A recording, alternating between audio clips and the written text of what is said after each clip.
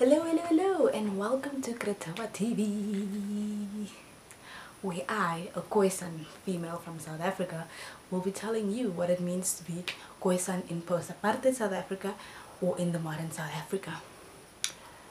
I will start off this little series by giving you guys a little background history of why I'm starting this series. So, four or five years ago, I found out that I was Khoisan and this shouldn't have been a surprise because I know I'm from the Karoo and it's mostly populated by Khoisan people. But with the the racism that exists in the Western Cape I didn't want to be anything but Khoisan.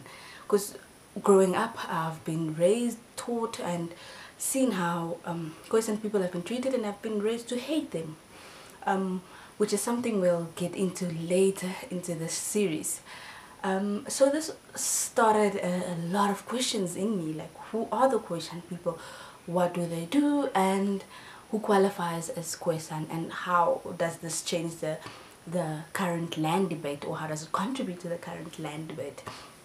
So with this, I marched on to UJ, University of Johannesburg, did my undergrad there, did my postgrad in honesty, but the real reason I actually wanted to do sociology the most was actually uncovering my roots and studying my people so that I can contribute at least just a little bit of Khoisan history and, and, and, and educate people on what it means to be Khoisan. So um, my masters, so a lot of my, my, my undergraduate and postgraduate studies were forced upon me not necessarily forced upon me, but it was already pre-chosen by the department or the faculty and there was not really much uh, space for me to move around and actually find my identity or do a topic that I'm interested in. So come my masters and I get the opportunity to study my people. So I did this by examining the interplay between resistance and identity formation in the Khoisan people of um, Kimberley. So here I am in Krotoa TV telling you guys or educating you guys on the findings of this master's project.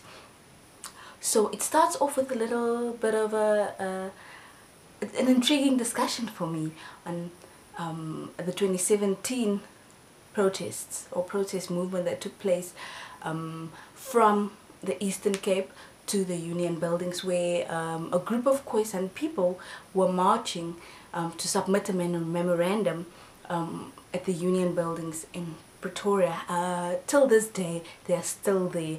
Um, this was they did this in 2017 December. Till this day, they are uh, still outside the Union buildings, um, waiting for feedback from uh, the president.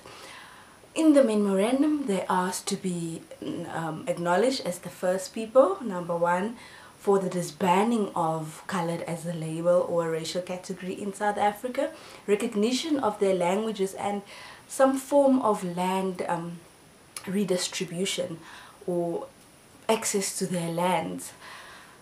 Yes, and that's what brought my study, or that's a, a little background of my study.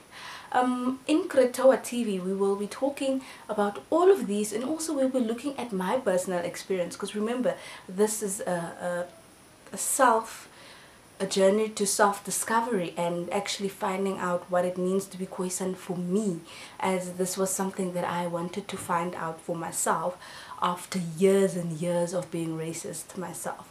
So let me give you a little brief background of myself. I'm from the Western Cape as I've previously mentioned um, from the Karoo area as I've mentioned and um, especially in the Karoo uh, there's a very very rich culture of racism that still exists there and this is because the the mother colony or the Western Cape was considered the mother colony where the Dutch, the British um, first landed and had settler colonies from there on out in the Western Cape. But till today you can still see the racism um, arrive there. A lot of colored people uh, who I was confused with or I was raised colored um, in my past or as cultural background. A lot of colored people are very racist. They hate black people or not necessarily hate them. They have a big disdain for them. Um, and this comes from um, white people whitewashing and indoctrinating colored people. Uh, that's why I knew that I wasn't colored, number one, but I was raised colored. Number two, now you remember that I'm, I'm raised in a very racist uh, geographical location. So they also made me hate one um, the idea of being black. But I just knew I wasn't white. So that's where my first identity crises came about. Like, what am I? Because I don't want to be associated with being colored. I'm scared of being black because of the racial discrimination against the black people in the Western Cape. And I knew I was not white. So who am I?